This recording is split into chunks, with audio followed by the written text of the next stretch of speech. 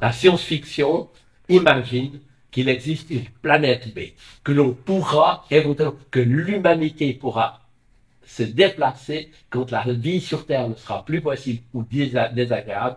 On rêve qu'on puisse aller sur une autre planète. Non, ce n'est pas possible. Ça, c'est peut-être une des, une des révélations de toute l'astronomie et de toutes nos recherches. Les distances sont beaucoup trop considérables. Je crois que c'est ça le message essentiel de, de ce genre de remarques.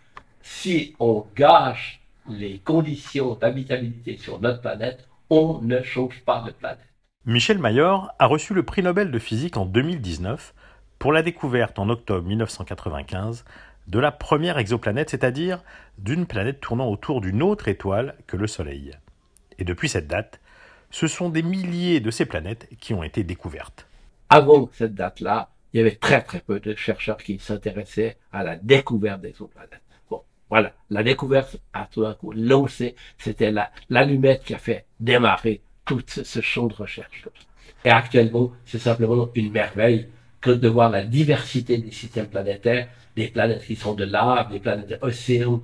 Grâce à l'étude de ces milliers d'exoplanètes, les astronomes commencent à comprendre comment leur atmosphère peut évoluer avec le temps.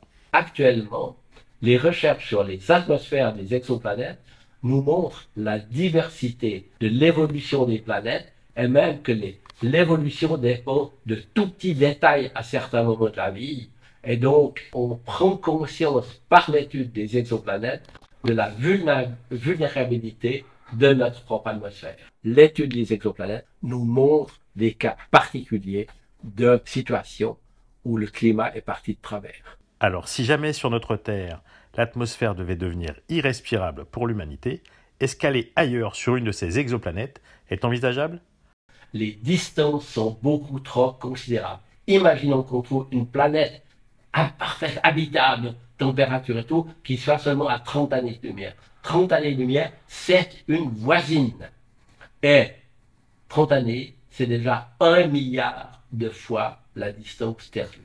Ça rend, j'espère, l'homme suffisamment conscient de ce fait-là pour dire on doit protéger cette Terre.